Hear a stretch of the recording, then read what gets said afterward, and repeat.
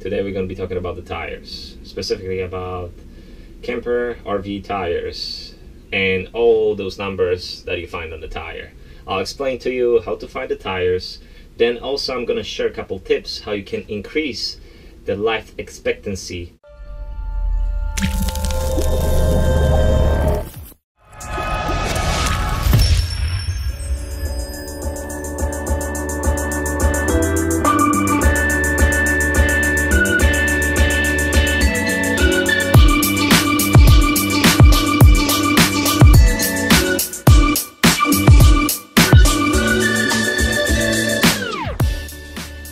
Endurance Special Trailer Service Tire ST 225 75 R15 with Durawall technology.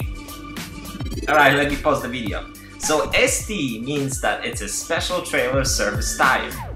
The ST tires should never be used on cars, vans, or light trucks. They are specifically designed to be used on trailers. Number 225 indicates this tire is 225 millimeters across from the widest point of its outer sidewall to the widest point of its inner sidewall. Well, long story short, the number indicates how wide is your tire.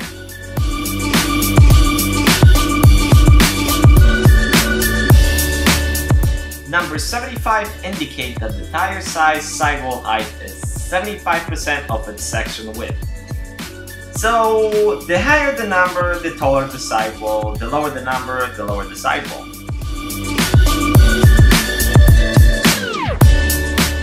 The R in the ST225-75R15 size identifies that the tire has a radial construction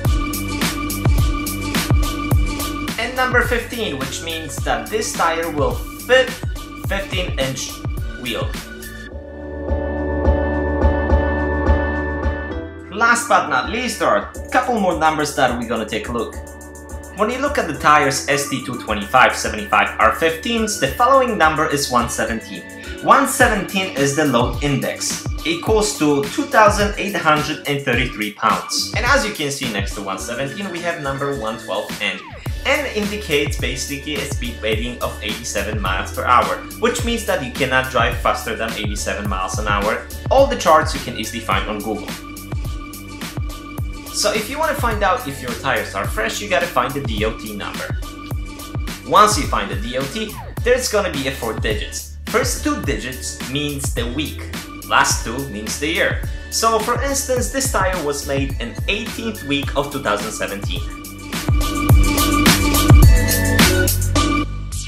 And finally, let's talk about some tips. Number one, maintain the pressure at the maximum PSI recommended on the tire sidewall for cool running load carrying ability and the lowest rolling resistance.